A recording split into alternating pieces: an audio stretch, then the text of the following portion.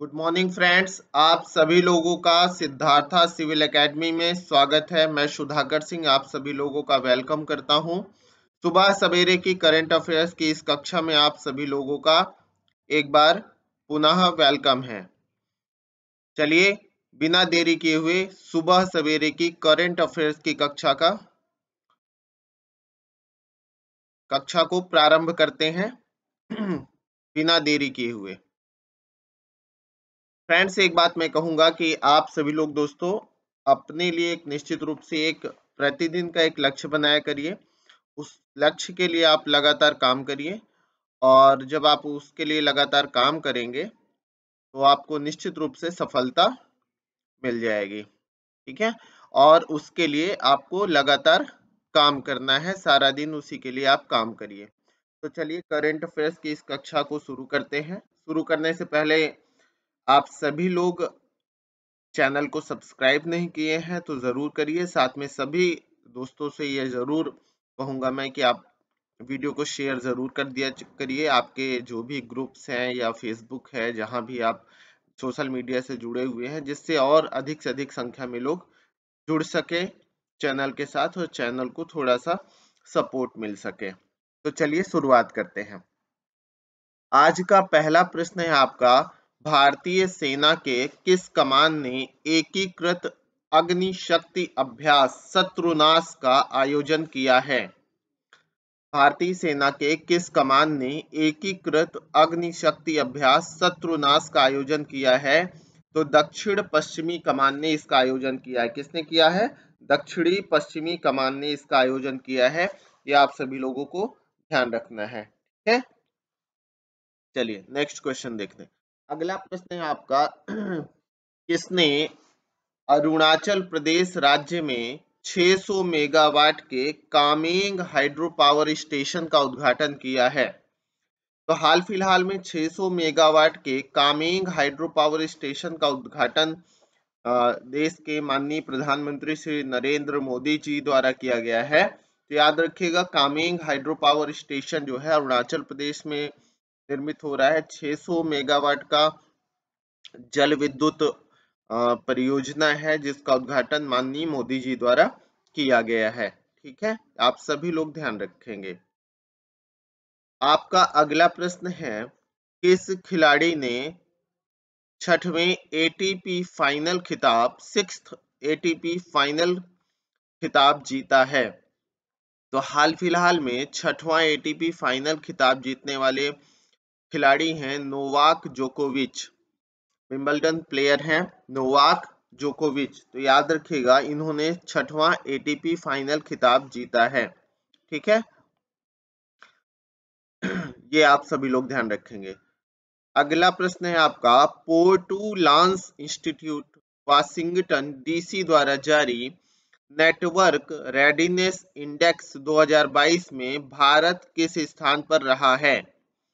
पोर्टुलांस institute, Washington DC द्वारा जारी network readiness index 2022 कौन सा इंडेक्स है? नेटवर्क रेडीनेस इंडेक्स 2022 2022 में भारत का स्थान क्या रहा है? तो आप सभी लोग ध्यान रखेंगे कि इसमें भारत का जो स्थान रहा है, अगर उसकी बात किया जाए तो सिक्सटी रैंक रही है। इकसठवा स्थान रहा है। कौन सा स्थान रहा है? इकसठवा स्थान रहा है। ये ध्यान रखना है, इकसठवें स्थान पर भारत रहा है, ठीक है? आपका अगला प्रश्न है, किस राज्य सरकार ने कार्यस्थल पर असाधारण प्रयास करने वाले मानव संसाधन को पुरस्कृत करने के लिए एक पुरस्कार योजना की शुरुआत की है?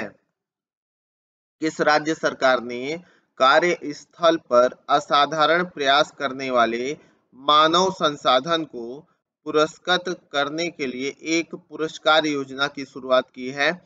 तो यह योजना की शुरुआत करने वाला राज्य है आपका हरियाणा राज्य। किसने किया है?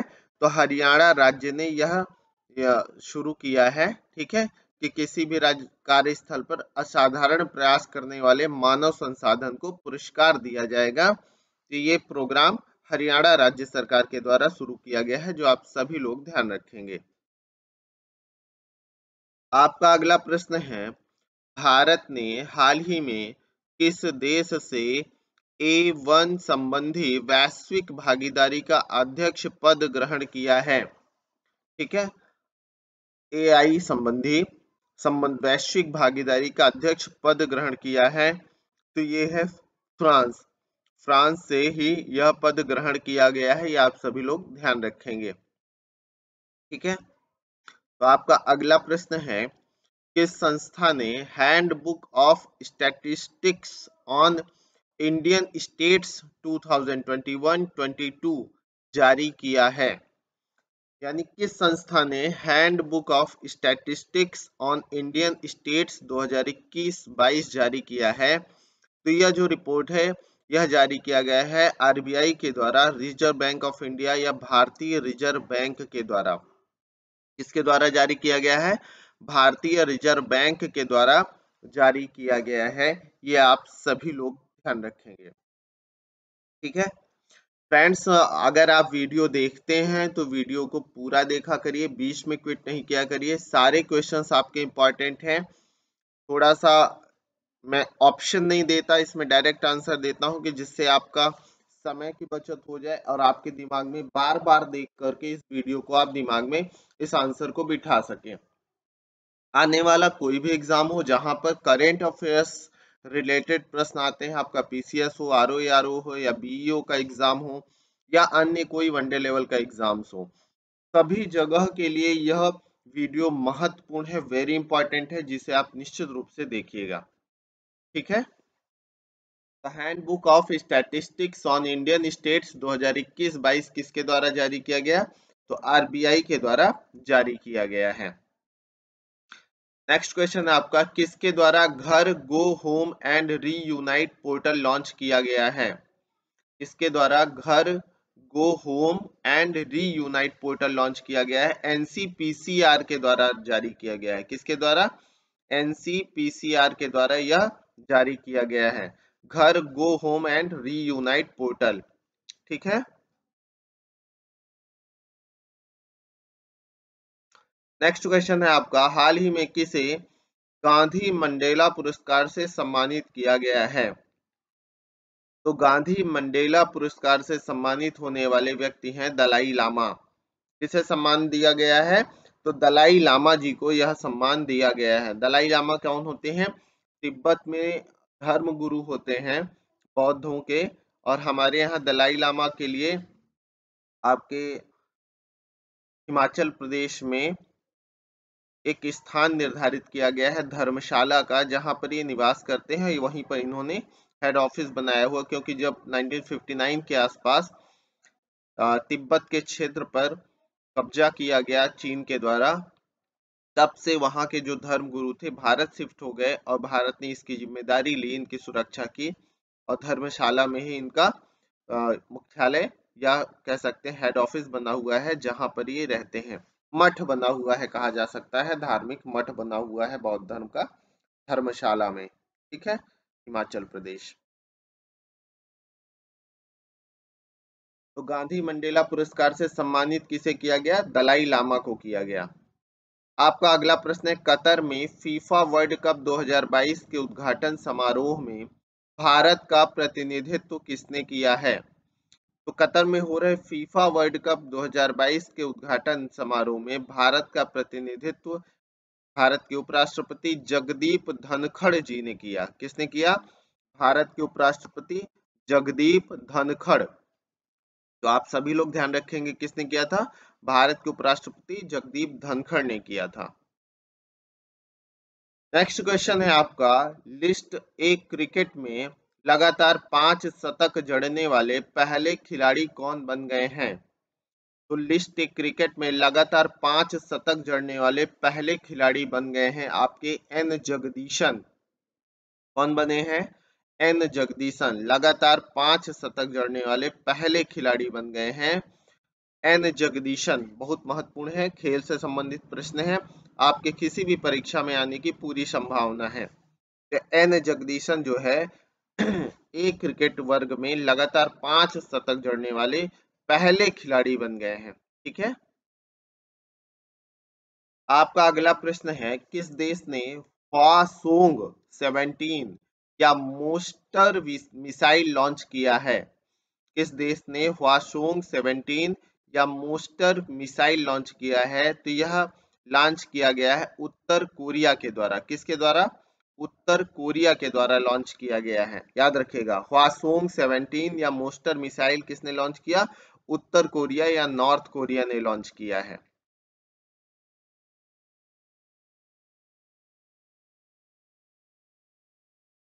अगर उत्तर कोरिया की बात किया जाए तो ये उत्तर कोरिया का मैप है आपके सामने। देख लीजिए, ये नॉर्थ कोरिया है, साउथ कोरिया है, ये पूरा कोरिया प्रायद्वीप कहलाता है। कोरिया प्रायद्वीप पे ही उत्तरी कोरिया और दक्षिणी कोरिया बसे हुए हैं। नॉर्थ कोरिया या उत्तरी कोरिया की राजधानी है प्योंगयांग और दक्षिण कोरिया की राजधानी है सियोल। एक तरफ़ आपका देखेंगे तो येलो सी है, पीला सागर है, दूसरी तरफ़ जापान सागर है, सी ऑफ़ जापान है। और ये देखिए, यहाँ पर अगर देखेगा तो कोरिया स्ट्रेट है, कोरिया जल संधि है, जो जापान से कोरिया प्रायद्वीप को अलग करती है। किसे अलग करती है? जापान से कोरिया प्रायद्वीप को अलग करती है। ये आप सभी लोग ध्यान रखेंगे, ठीक है?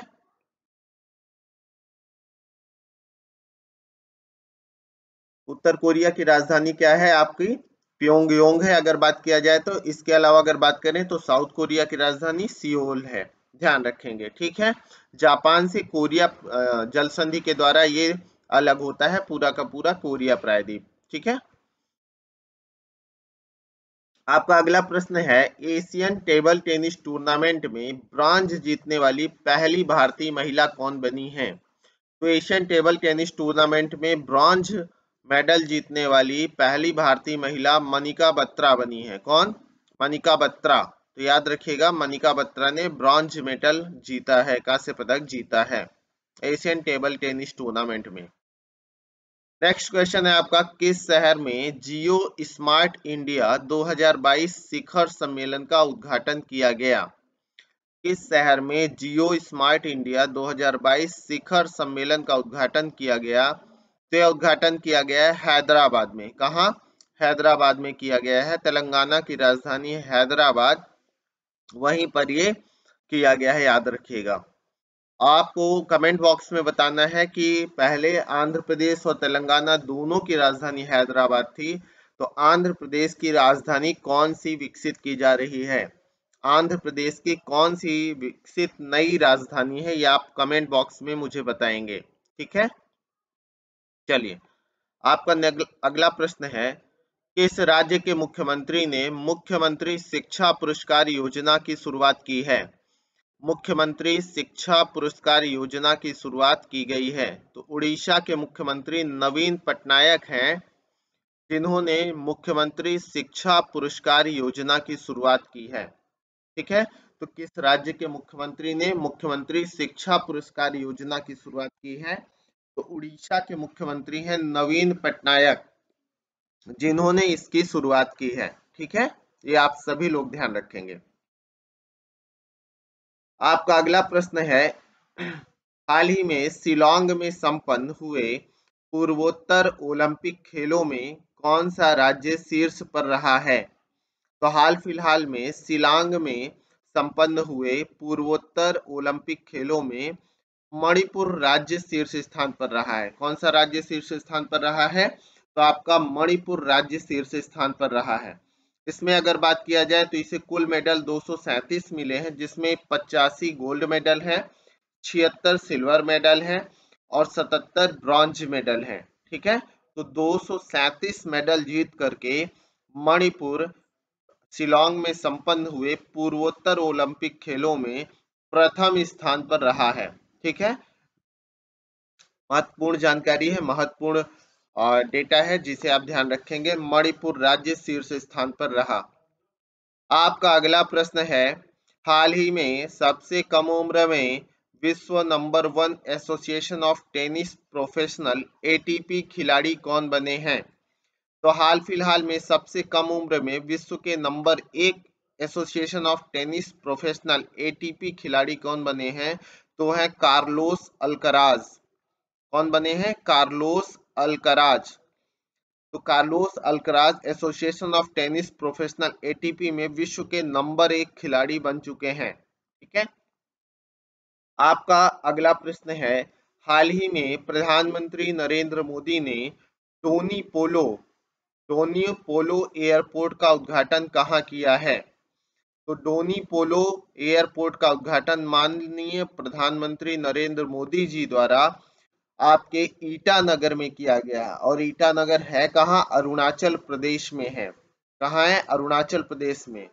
अब अरुणाचल प्रदेश की अगर बात किया जाए तो अरुणाचल प्रदेश और चीन के मध्य की जो सीमा रेखा है, उस सीमा रेखा को हम मैकमोहन सीमा रेखा के नाम से जानते हैं।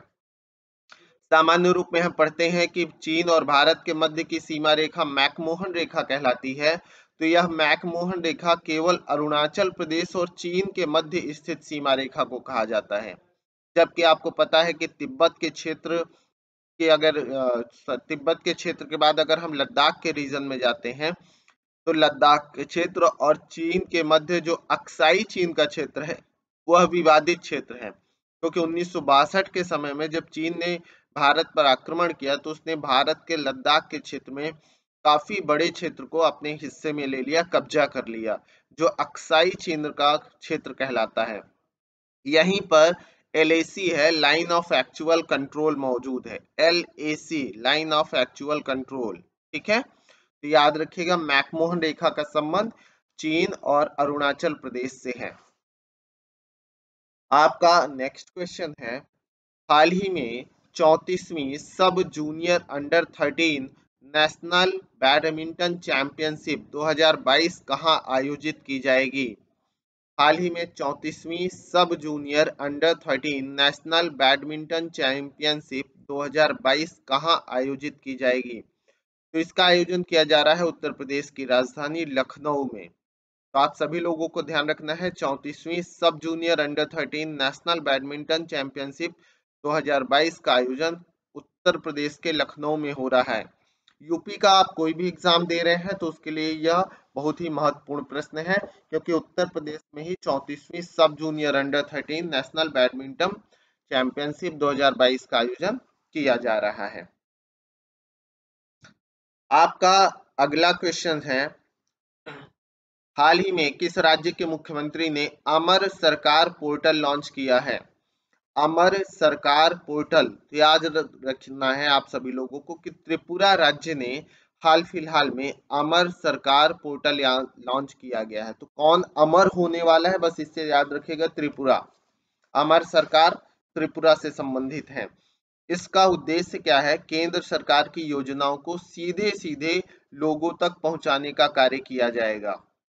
यानी बीच में कोई व्यवधान ना हो, ऐसा कोई सिस्टम डेवलप किया जाएगा इस पोर्टल के माध्यम से कि केंद्र सरकार की योजनाएँ सीधे लोगों तक पहुँचे तो अमर सरकार पोर्टल जो है आपके किसके द्वारा लॉन्च किया गया है? आपके राज्य के मुख्यमंत्री के द्वारा लॉन्च किया गया है, ठीक है?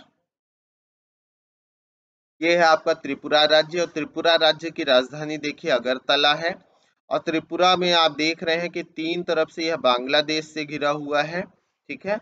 आपके इस साइड भी बांग्लादेश का रीजन है, इधर भी आपका दक्षिण में भी बांग्लादेश का रीजन है, पूरब में भी है, पश्चिम में भी है। उत्तर की तरफ़ थोड़ा सा उत्तर पूरब जाएँगे तो असम और मिजोरम का रीजन जुड़ जाता है। ठीक है? तो त्रिपुरा तीन तरफ़ से बांग्लादेश से घिरा हुआ राज्य है। साथ में याद रखिएगा, बांग्लादेश और त्रिपुरा के मध्य की सीमा रेखा को हम ज़ीरो लाइन कहते हैं। क्या कहते हैं? Zero line. शून्य रेखा। तो आप सभी लोग ध्यान रखेंगे, ज़ीरो लाइन का संबंध भी त्रिपुरा और बांग्लादेश से है। और एक ऐसा राज्य है जो एक ही देश से तीन ओर से घिरता है, यह बांग्लादेश से घिरता है। और इसकी राजधानी है अगरतला, ठीक है? आपका अगला प्रश्न है, हाल ही में गृह मंत्री अमित शाह ने आतंकवादी वित्त पोषण में वैश्विक रुझान पर पहले सत्र की अध्यक्षता कहाँ की है? तो हाल फ़िलहाल में गृह मंत्री अमित शाह ने आतंकवादी वित्त पोषण में वैश्विक रुझान पर पहले सत्र की जो अध्यक्षता की है, वह नई दिल्ली में की है। कहाँ की है? नई दिल्ली में यह अध्यक्षता की गई है। तो आप सभी लोग ध्यान रखेंगे। आपका अगला प्रश्न है, हाल ही में प्रधानमंत्री नरेंद्र मोदी ने no money for terror global meet का उद्घाटन कहाँ किया है? तो हाल याद रखना है, हाल फ़िलहाल में no money for terror global meet का उद्घाटन माननीय प्रधानमंत्री जी द्वारा नई दिल्ली में किया गया है। किस, कहाँ किया गया है? नई दिल्ली में किया गया है और इसका उद्देश्य है टेरर फंडिंग को रोकना। यानी पूरी तरीके से जो आतंकवादी आतंकवाद से रिलेटेड गतिविधियाँ हैं, उनके लिए जो पैसा दिया जाता है फंडिंग की जाती है, उस पर पाबंदी लगाने का कार्य इसके द्वारा किया जाएगा। पूरी तरीके से इसे रोकने का कार्य प्रयास होगा। आपका अगला प्रश्न है, हाल ही में विश्व शौचालय दिवस कब मनाया गया? तो आप सभी लोग ध्यान रखिएगा 19 नवंबर को विश्व शौचालय दिवस मनाया गया। कब मनाया गया? 19 नवंबर को विश्व शौचालय दिवस मनाया गया। वैश्विक स्वच्छता संकट से निपटने के लिए यह कार्य किया जाता है 19 नवंबर को शौचालय दिवस मनाया जाता है। आपको कमेंट बॉक्स में और बताना है कि 19 नवंबर को और कौन सा दिवस मनाया जाता है। 19 नवंबर को और कौन सा दिवस मनाया जाता है, आप सभी लोग कमेंट बॉक्स में बताएँगे। आपका अगला प्रश्न है, हाल ही में किस राज्य के वन विभाग ने भारत का पहला एलिफेंट डेथ फ्रेमवर्क पेश किया है?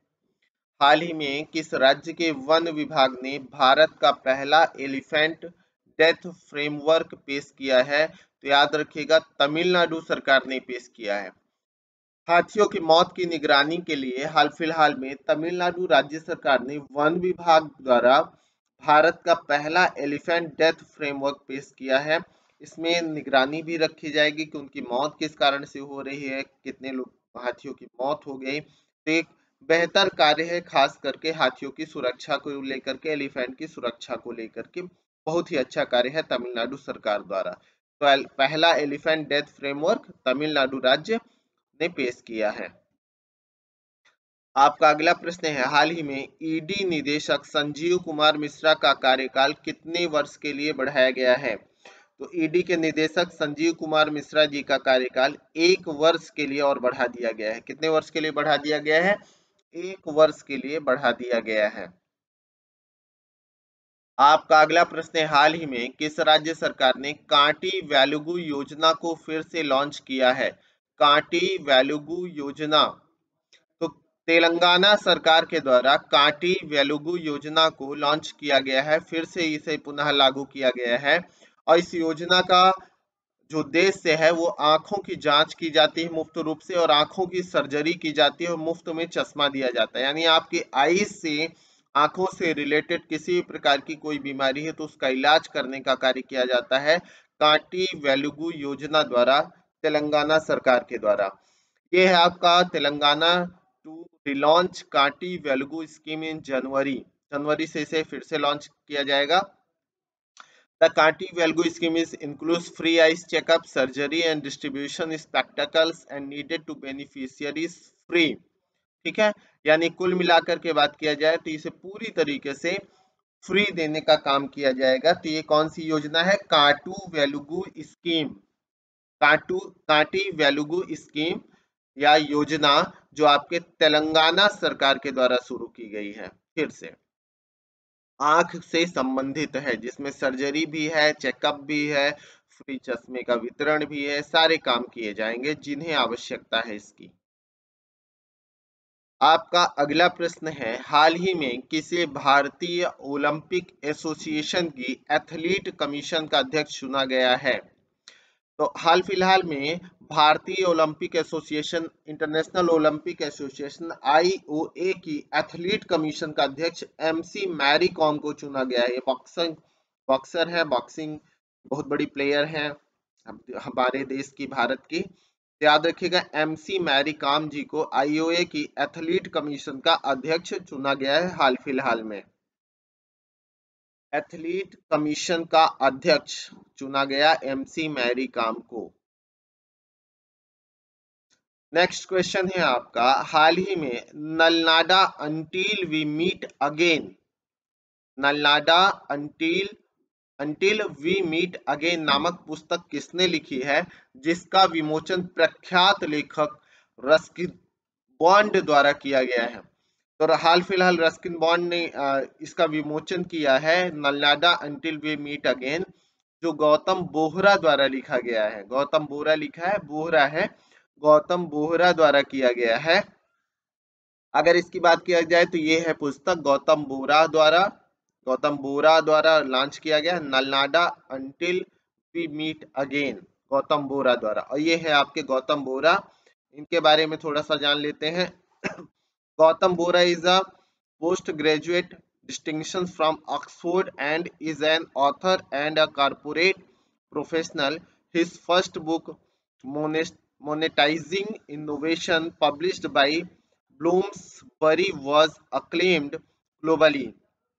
Gautam is passionate about writing and writes regularly in other genres as digital fitness, motivation, happiness, etc. In corporate life, he currently manages an e-commerce startup and his earlier assignment was with Vodafone as Vice President Customer Operations. He is also a part of advisory board of some organizations. ये पूरी तरीके से गौतम बोरा author है लेखक है Oxford से पढ़े हुए हैं हाल फ़िलहाल में वोडाफोन से भी जुड़े हुए हैं तो एक बिजनेसमैन भी हैं और राइटर भी हैं, ये है आपके गौतम बोरा। ठीक है तो याद रखिएगा इनके द्वारा लिखी पुस्तक नलनाडा अंटिल वी मीट अगेन महत्वपूर्ण पुस्तक है, पूछी जा सकती है क्योंकि रस्किन बॉन्ड ने इसका विमोचन किया हुआ है। आपका अगला प्रश्न है, हाल ही में किस खिलाड़ी ने छठवां एटीपी फाइनल खिताब जीता है? तो छठवां एटीपी फाइनल खिताब जीतने वाले हैं नोवाक जोकोविच। नोवाक जोकोविच। ये है आपके नोवाक जोकोविक। और जो बात किया जाए तो ये सर्बिया के खिलाड़ी हैं। याद रखिएगा, सर्बिया के प्लेयर हैं। सर्बिया के जाने माने प्लेयर हैं नोवाक जोकोविक, जिन्होंने छठवां एटीपी फाइनल खिताब जीता है। आज का अंतिम प्रश्न है बच्चों। दोस्तों थर्टी क्वेश्चन डेली में डिस्कस कर रहा हूँ। तीस नंबर का प्रश्न है, किसे हाल ही में गांधी मंडेला पुरस्कार से सम्मानित किया गया है? तो हाल फ़िलहाल में गांधी मंडेला पुरस्कार से सम्मानित होने वाले हैं आपके दलाई लामा। कौन है? दलाई लामा। ये है दलाई लामा, जिनका रियल नाम है तेंजिंग ग्यात्सो। ये चौदहवें दलाई लामा है, ठीक है? चौदहवें दलाई लामा है, जो लगभग सतासी साल से ऊपर के हैं। जिनका जन्म 1935-36 के आसपास हुआ था तो चौदहवें दलाई लामा है। तो याद रखिएगा, धर्मशाला में ही ये सारे निवास करते हैं। तो फ्रेंड्स ये आज का करेंट अफेयर्स के महत्वपूर्ण प्रश्न रहे उनसे संबंधित कुछ महत्वपूर्ण जानकारी रही, जो मैंने आपको दिया। उम्मीद कर रहा हूँ, आपके आने वाले एग्ज़ाम के लिए महत्वपूर्ण होंगे। तो चैनल को लाइक शेयर और सब्सक्राइब करना बिल्कुल ना भूलिएगा। आप भी जुड़िए अपने फ्रेंड्स सर्कल में भी सभी को जोड़िए चैनल से, जिससे चैनल थोड़ा सा मूव ऑन कर सके, आगे की तरफ़ बढ़ सके। ठीक है? तो आप सभी लोगों को ढेर सारी शुभकामनाएँ। इसी के साथ ही मैं सुधाकर सिंह इस क्लास का यहीं पर समापन करता हूँ। अगले किसी टॉपिक के साथ बहुत जल्दी मिलेंगे। उम्मीद करता हूँ चीज़ें आपको बेहतर लग रही होंगी। थोड़ा सा करेंट बॉक्स कमेंट बॉक्स में आप ज़रूर बताया करिए कि चीज़ें कैसी लग रही हैं। आपके लिए यूजफुल है या नहीं। लेकिन चैनल को लाइक शेयर और सब्सक्राइब करना बिल्कुल भी ना भूलिएगा। Have a good day good luck bye bye दोस्तों।